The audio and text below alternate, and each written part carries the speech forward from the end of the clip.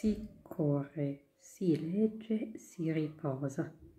Ci sediamo sulla riva del fiume, mentre la luna sembra abbracciarlo con i suoi raggi d'argento e lo guardiamo correre mentre canta e poi bisbiglia andando incontro al suo re, il mare.